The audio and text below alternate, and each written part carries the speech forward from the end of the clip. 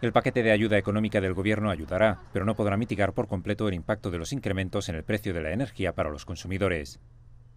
El ministro alemán de Economía, Robert Habeck, aseguró que esa es la amarga y dura verdad, después de una reunión con asociaciones de pequeñas y medianas empresas.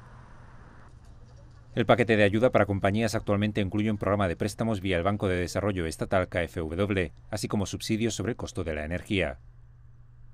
Bajo el programa, unas 4.000 empresas son elegibles para recibir subsidios directos para energía. En general, el gobierno alemán ha adoptado medidas con valor de 30.000 millones de euros, incluido un incremento en las asignaciones libres de impuestos básicas y mayores asignaciones de kilometraje para pasajeros de largas distancias. CGTN en español.